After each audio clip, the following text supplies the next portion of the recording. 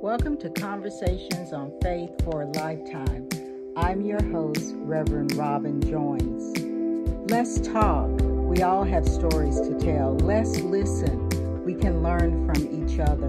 Let's go deeper into the well of our Christian faith to be replenished during these challenging times in both church, society, in the world, in our communities, in our families, on our jobs, everywhere that we may be.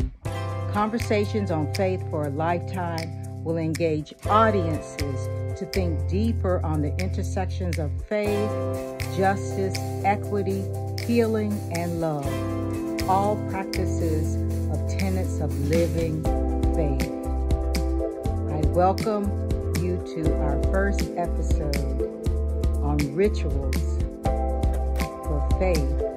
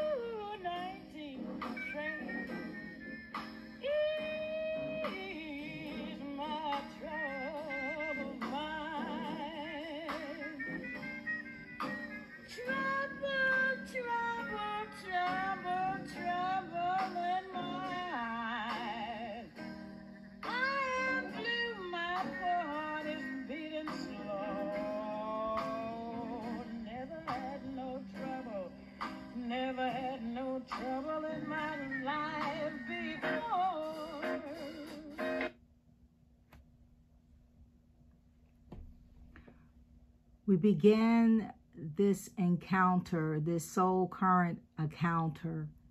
We began it with looking at ritual and how ritual is significant to our daily living. It invokes memory, it makes us present.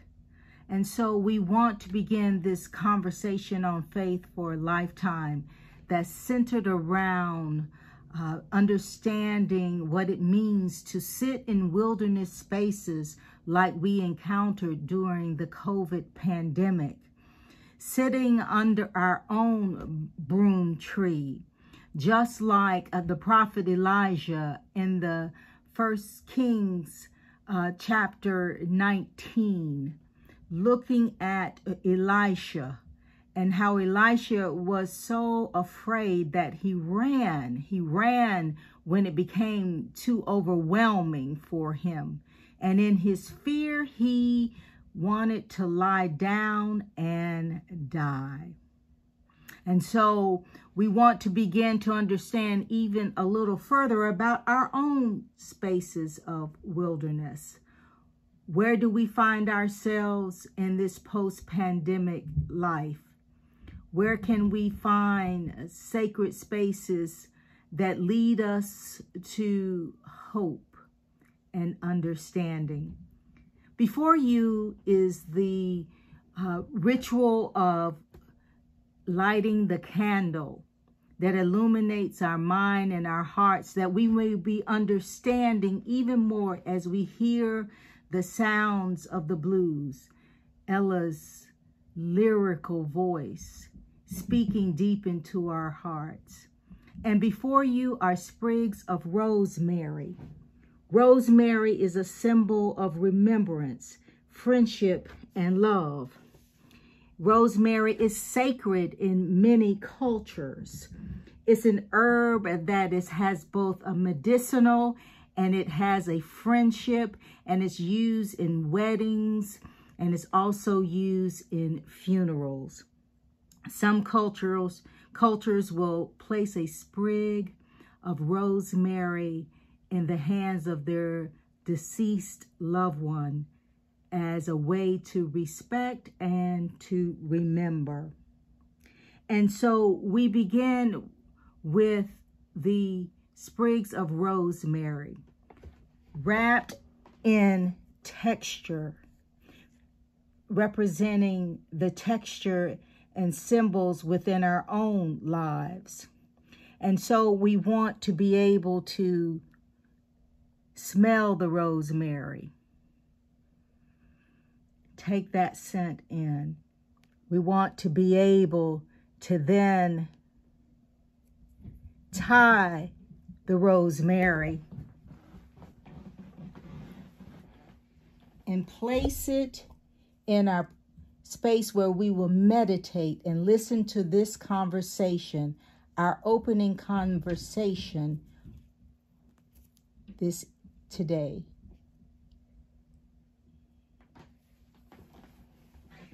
Wherever we may find ourselves on this day in places of wilderness, places of vulnerability, or places of loss, carry with you this word. God of the wilderness, we are grateful that you are with us and that you are a God who does not lead us into a wilderness that you yourself have not already met. Let our faith and our memory and the sweet scent of this rosemary lead us into a place of understanding that your hand of care is always present in our lives. And so we begin this conversation today on blues beneath my broom tree, looking for a season of hope in the midst of discouragement, despair, and loneliness.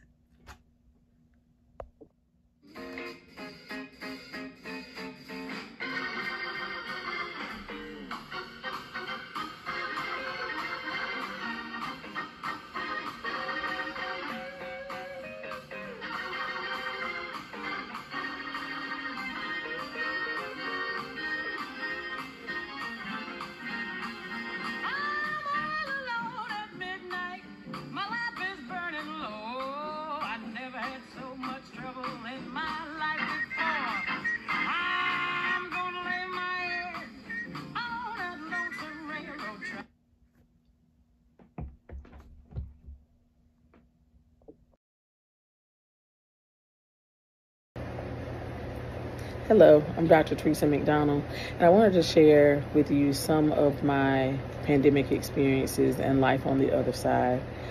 Going into the pandemic, I had recently earned a doctorate degree. So I was in the process of unthawing, unthawing from the rigor, the mental anguish, the isolation of that experience. I had begun to enter into, re enter into social spaces with friends and family and travel and enjoy life. And then the pandemic hit. And all of a sudden, I was thrown back into the isolation that I worked so hard to pull myself out of. After about a year, I realized that if I was going to survive, I was going to have to dig deep into my faith and remember what God had promised me. I thought, surely there's no way that God had brought me that far to leave me. I prayed, I sought therapy, I started working on a business plan and a business, and most importantly, I started to approach my health from a more holistic sense. I realized that it was important for me to take care of my mind, my body, and my soul during this pandemic experience. Once the restrictions were lifted, or at least relaxed, I began to re enter into some of the social spaces that I had so badly missed. I began to travel. I even took a huge leap of faith and traveled to Paris, France, a lifelong dream of mine during a pandemic and during a war that had started um, with Russia. I remember being so afraid. But I went to Paris to speak about fear and what was on the other side of it.